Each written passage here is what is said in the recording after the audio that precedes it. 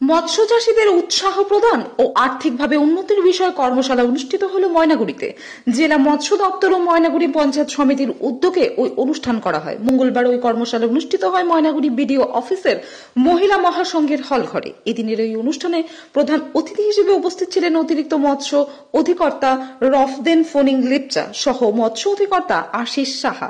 ময়নাগুড়ি পঞ্চায়েত সমিতির কৃষি কর্মাধ্যক্ষ মনোজ রায়। ময়নাগুড়ি পঞ্চায়েত সমিতির সভাপতি সুভাষ বোস। ময়নাগুড়ি সমষ্টি উন্নয়ন আধিকারিক শ্রেয়সী ঘোষ সহ বেশ কয়েকজন আধিকারিকরা। আজকে মৎস্য চাষী দিবস পালিত হলো ময়নাগুড়ি ব্লকে। এতে জেলা অধিকর্তারা এসছেন এবং ময়নাগুড়ি ব্লকের পঞ্চায়েত সমিতির মেম্বার এবং ব্লক আধিকারিকরাও রয়েছেন।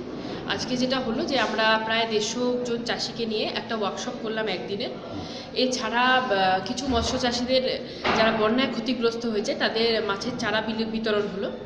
এবং এই প্রোগ্রামের অংশ হিসাবে আমরা দশজন চাষিকে হাড়ি এবং নেট বিতরণ করলাম। দেখুন, যাদের বন্যায় মাছের ক্ষতি হয়েছে, তারা তো মাছের চারা পেয়ে গেল। সেটা ডেফিনেটলি বংশ বিস্তার করলে ওনাদের লাভই হবে।